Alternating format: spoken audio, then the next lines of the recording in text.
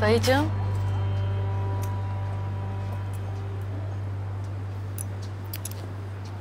Nasılsın bakalım?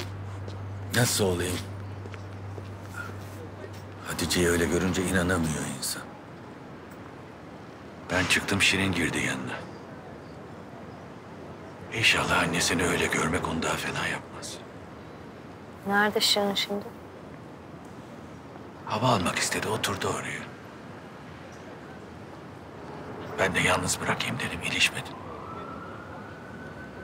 Acaba hiç görmese miydi annesi ne dersin? Dayıcığım, çocuklarımızı gerçeklerden uzak tutarak onlara iyilik yapmış olmuyoruz. Ama suçluluk duyuyor. Sağlıklı insanların suçluyken suçluluk duyması gerekir. Esas sen hiç iyi görünmüyorsun.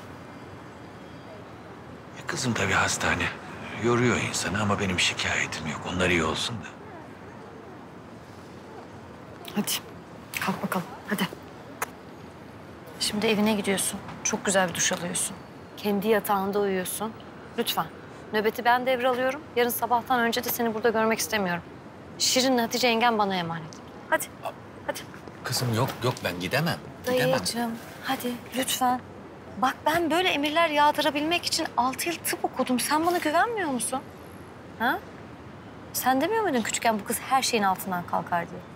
Biz hastalanınca sen bakacaksın demiyor muydun? Diyordun. O zaman ne şimdi böyle? Hadi.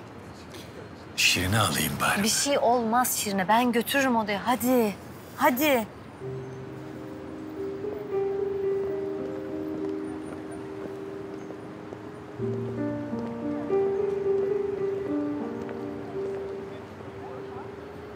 Mm-hmm.